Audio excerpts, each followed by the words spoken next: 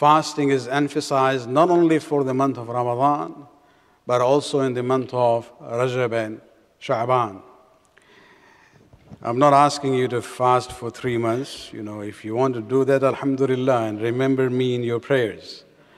Actually, that is recommended. But what I'm saying is that remember, fasting is not for Ramadan only. One hadith from Imam Ali ibn Musa Rida alayhi salatu wasalam.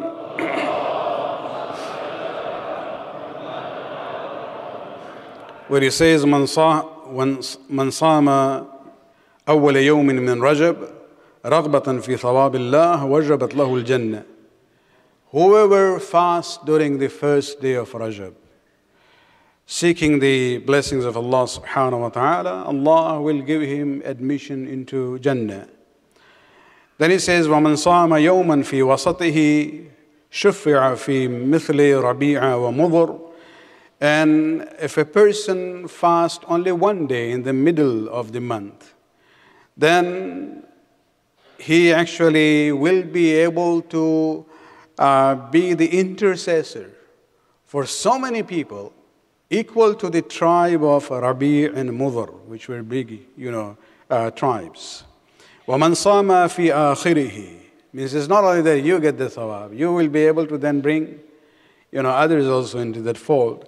وَمَنْ صَامَ فِي آخِرِهِ And whoever fasts in the last days of the month of Rajab, جَعَلَهُ اللَّهُ مِنْ مُلُوكِ الْجَنَّةِ He will become among the leaders in Jannah. وَشَفَّعَهُ فِي and Allah will accept the intercession from him on behalf of abihi wa ummihi, on behalf of his father and mother, wa ibnihi wa ibnatihi, on behalf of his son and daughter, wa akhihi wa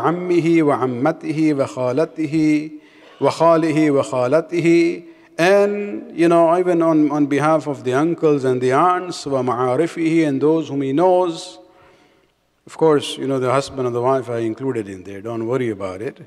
وجيرانه and his uh, neighbors وإن كان فيهم مستوجب للنار even if they are people who were deserving of the punishment, you know, because of his shafa'at, Allah subhanahu wa ta'ala will um, forgive them. And this is where we see the importance of fasting during the beginning and the middle and the end of the month of Rajab from Imam Raza alayhi salatu wassalam. Salawat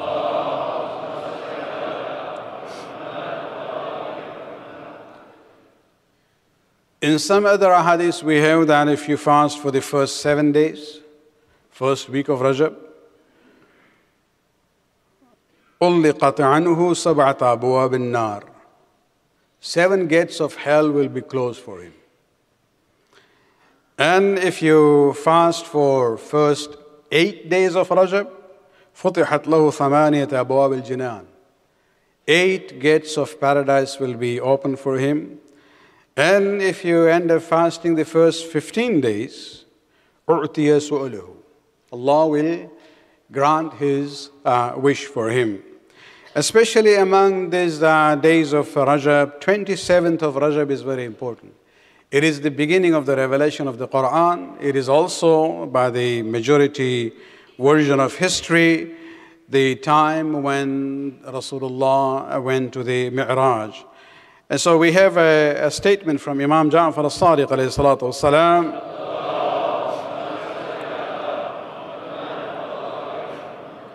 He says, لا تدعوا صيام يوم السبعة وعشرين من رجب Do not neglect the 27th day of the fasting of this 27th day of Rajab, فإنه اليوم الذي نزلت فيه النبوة على محمد because that is the day when the nubuwwat started. Uh, the revelation basically came back uh, down on the Prophet. وثوابه مثل ستين شهرا لكم. And the sawab of that reward of fasting that one day on 27th of Rajab is equal in reward to 60 months. It doesn't take care of your missed uh, fasting. That's still on you. But you know, this is the number of uh, reward and thawab which is given for that one day.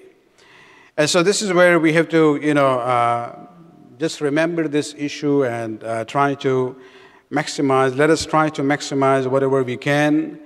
And especially when we talk about this fasting during the month of Rajab, remember, according to the fiqh rules, if you have missed wajib fasting in the past, so you have to do qadha, then remember you cannot do sunnat fasting. You cannot do the recommended fasting with that niyat.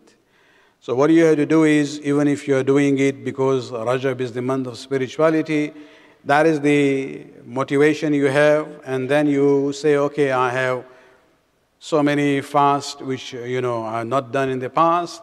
You can do it with the niyat of sh- not only you can, you should actually do it with the niyat of qadha.